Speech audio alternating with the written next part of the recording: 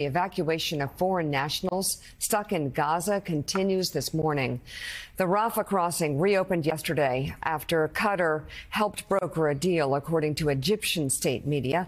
Dozens of people injured were brought to Egyptian hospitals. Hundreds of foreign nationals also passed through the border. That includes five Americans who worked for aid organizations.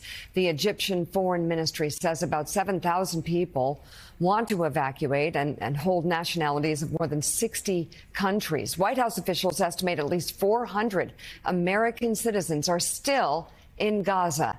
They say more departures are expected over the next several days, but officials stress the situation, Willie, is still very fluid. And meanwhile, Israeli troops continue to push further into Gaza. Israeli Defense Forces released new video of combat activity inside the mm. territory. Mm. They say they've destroyed dozens of Hamas targets, including anti tank squads and military outposts. The IDF says it also killed another Hamas commander yesterday after launching a new airstrike on Gaza's largest refugee camp. This is the second time the densely populated neighborhood has been attacked by Israel this week.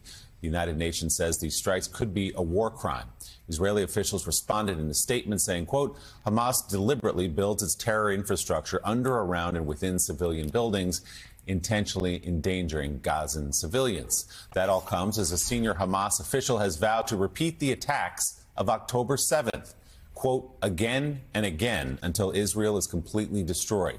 In an interview with Lebanese television, the official warned Hamas would replicate those horrific attacks, stating, quote, Israel is a country that has no place on our land. So, Congressman, there you have it for people calling for a ceasefire this is what the well, Israelis exact, are up against. Yeah, that's exactly right. By the way, where's I, I, hear about the UN saying a lot about this. Where's the UN been in Ukraine? Where have they been in talking about the Russian attacks in Syria? The Russians repeatedly hitting hospitals there. Um, I, I, look, I hear people say that Israel's indiscriminately bombing in Gaza. Listen, indiscriminate bombing by Israel would have about 100,000 dead civilians right now. Obviously, we want no dead civilians in Gaza. But Israel is doing everything they can to be precise. It's Hamas who made it clear they would repeat the attacks of October 7th just now. It's Hamas who is not building bomb shelters that are clearly marked. They're building underground networks so they can move men and materials around to create another attack. The refugee camp that was hit. Yeah, I mean, look, it's again, it's do you put stuff in a refugee camp? Do you put military materials? Do you hide your high value targets? It's a terrible situation.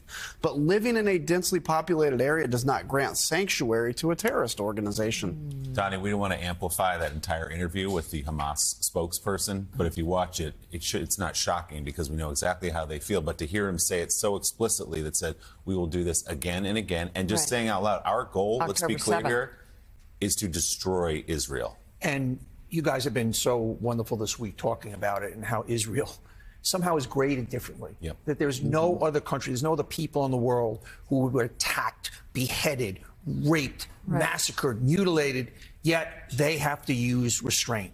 And, you know, it, it comes, it attaches to this. I'm holding up the post of somebody ripping off posters of, of the hostages there. And somehow Israel, even in the wake of a Hamas leader saying, we're going right. to come again and again and destroy you. Yet Israel always seems to be on trial. Israel well, always you know, seems to be defending themselves the double, for defending themselves. The double standard uh, applies college campuses so much. You're a Jew at Harvard.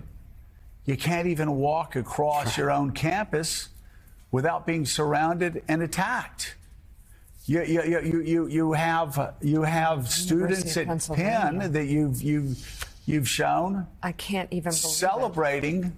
the raping of women, the slaughtering of babies, the burning of you know, if if that had happened and people were celebrating violence, think about I, I want everybody at home to think about this. Any group on college campuses that, by the way, administrators have bubble wrapped everybody mm-hmm. over the past 10 years with speech codes and safe spaces. Where are the safe spaces for the Jews? You know what? Jews don't have space, no. safe spaces, and they're not asking for them.